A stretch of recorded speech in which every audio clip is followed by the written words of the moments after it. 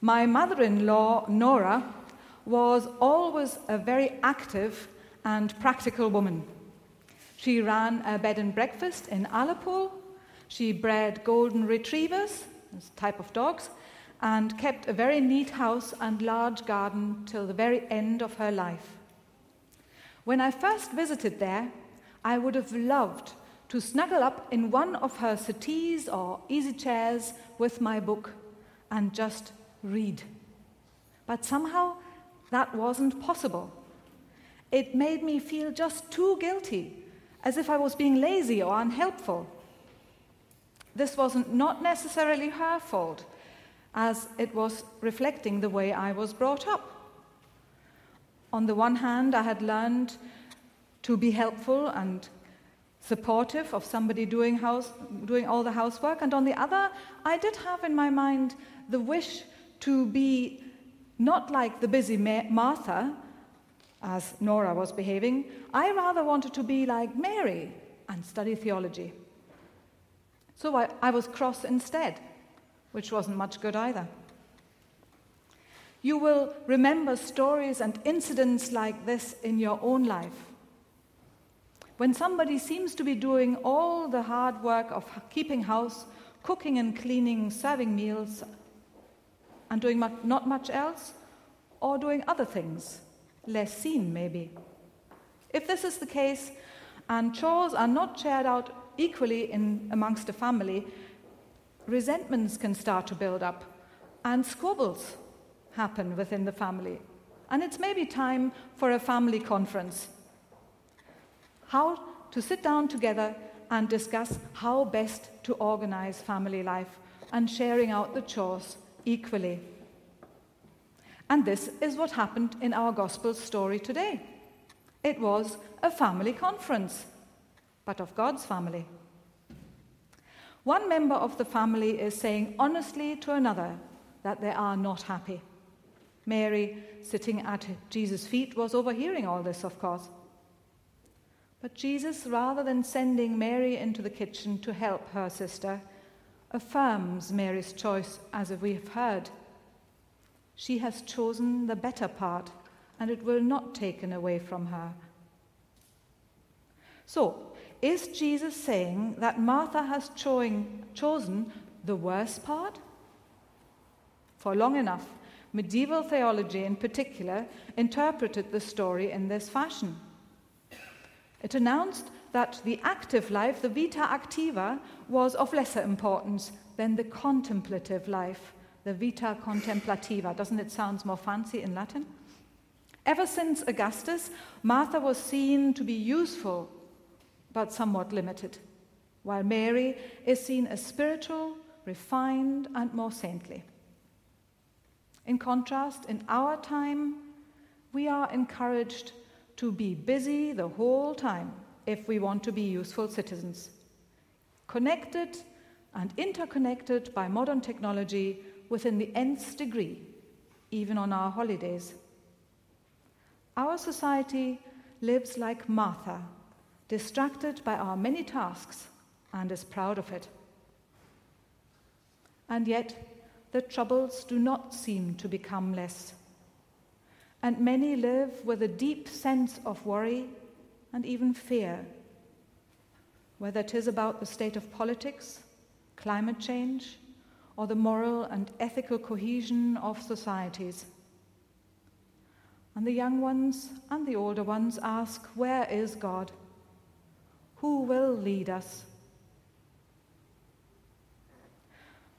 The prophet Amos in our Old Testament story today, today tells us of, in his fourth vision of a basket of summer fruit. The Hebrew word for summer fruit sounds like the word, Hebrew word for the end. The wordplay, of course, is lost in translation. In the New English Bible, the translators attempted a, a more a, a hint towards this by translating more freely The time is ripe for my people Israel. Never again shall I pardon them. After the first two visions Amos had had, Amos asked God for mercy for the people of Israel. But when he sees his third and fourth vision, the third being the one about the plumb line, and the fourth today about the summer fruit, Amos seems to have lost hope that Israel might ever change its way and stop heading down on the road to self destruction. And he utters terrifying words of judgment. Amos finishes by threatening a famine, not an ordinary famine of lack of food or water, but a famine for the word of God.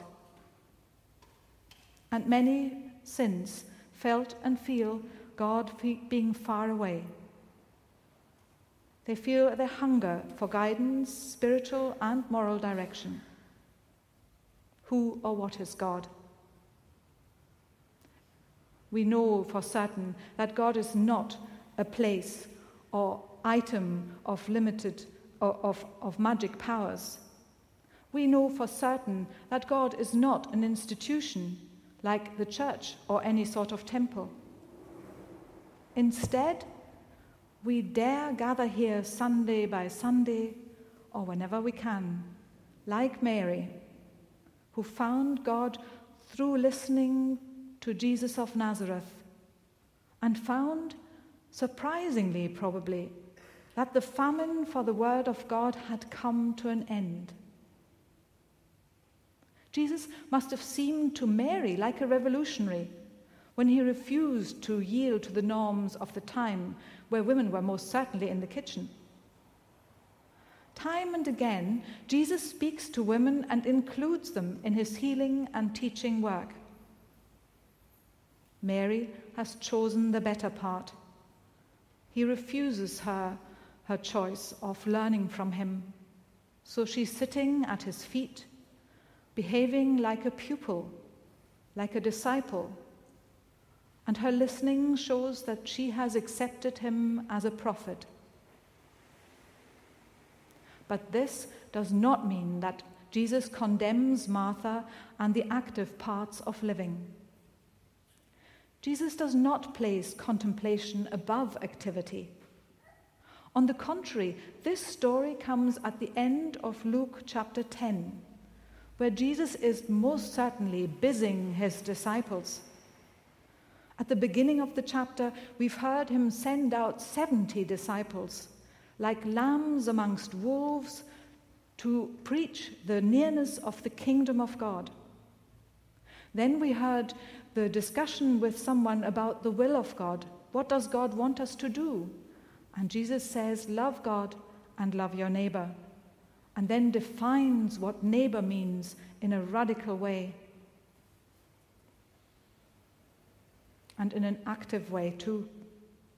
And today we have here two sisters debating whether it is like time to listen or to act, to be a maker or a dreamer. Nora, my mother in law, had by her sink a small sign which read, The hurrier I go, the behinder I get. Is that not true? Would it often not be so much better if we stopped before acting, to think, to pray? And once my mother, who probably wanted to give me some more good advice, sent a Russian proverb which said, Mix doing with doing nothing and you won't go mad.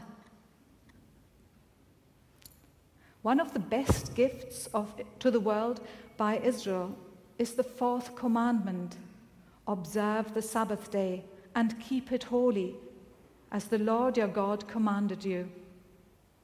Before trade unions, this was often the only higher authority protecting the strength of hard pressed workers. Why, though, do we have the tendency to think it clever to work every minute God gives us? But what Mary is doing is not simply resting.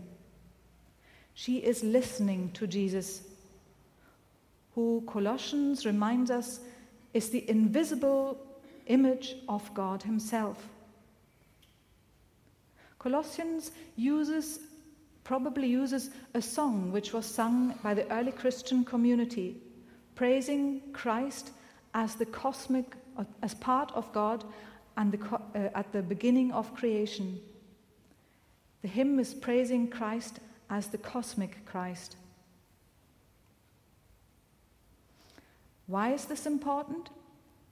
Because God is not just an external idea or a, an idea of perfection, but it means that we believe through Christ in a God who brings all reality together,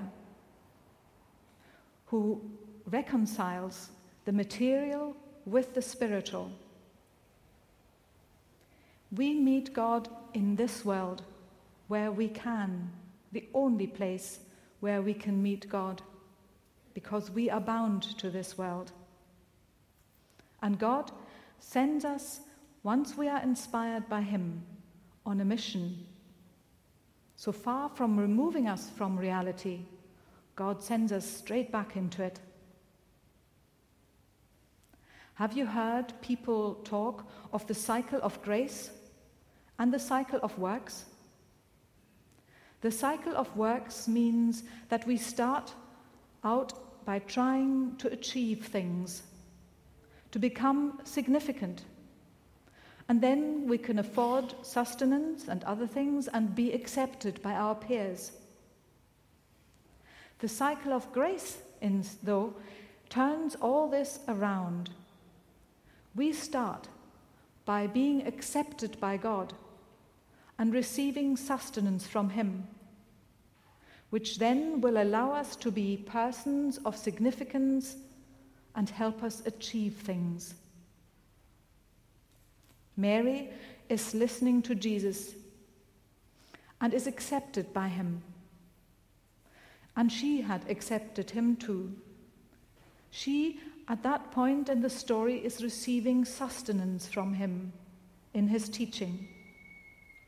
Martha, further on on the cycle of grace, is doing a significant job catering for Jesus and his entourage. She was on the way to achieve a good day for kingdom building. At another point in time, and maybe not before long, Martha, Martha would have needed to stop and recharge her batteries, physically and spiritually. And after listening, Mary too will become active. Her listening to Jesus will lead Mary into action. The theologian Dorothy Sölle said, Real contemplation gives rise to just actions. Theory and praxis are in an indissoluble connection.